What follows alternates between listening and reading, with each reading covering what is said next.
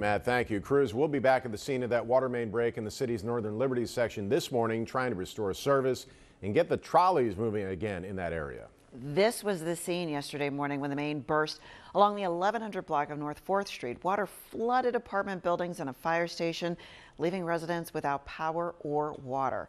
Action News reporter Catherine Scott is joining us live from the scene with the latest on the widespread impact. It is very cold to be out there with no power and no water, Catherine. Yeah, this was just a mess, and you can see today that Girard remains closed. The barricades are in the street here. The actual break and road collapse took place on nearby 4th Street, but the big focus today uh, is getting Girard back open and also removing mud off the trolley tracks to get the trolley back running.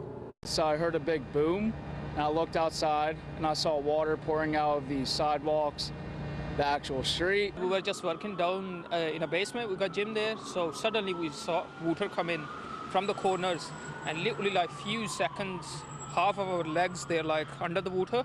So we had to run upstairs as fast as possible. As I was walking to, to my car, which is right here, um, the water was rushing down the street this way. Some guy came and delivered us all trash bags, and we all walked through the river. You can see Drone 6 overhead yesterday, the big hole in this Northern Liberty Street after a break in a 20 inch water main. It left water gushing into multiple city blocks and nearby buildings. Yesterday morning around 9 a.m., crews were called to North 4th Street near Girard. The street had flooded. There's water damage to surrounding buildings and businesses and homes, as well as the fire station at 4th and Girard. Crews from the water and streets departments were on scene. They worked to pump out water and make repairs, but in the process, a number of connectors needed to be shut down, meaning people lost water. Some lost power, others were displaced. There was a partial street collapse with vehicles sinking into a hole. The work continues today. Girard Street between 3rd and 4th is currently shut down, and we do not know when it will be reopened. Uh, they're working as hard as they can to get this repaired. This is a pretty significant break, so we expect this area to be um, out of service for some time.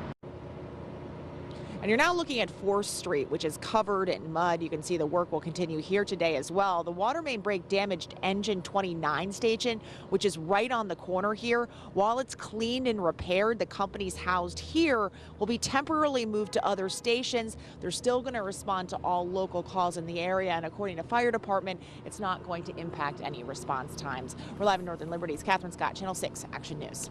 All right, Catherine, thank you.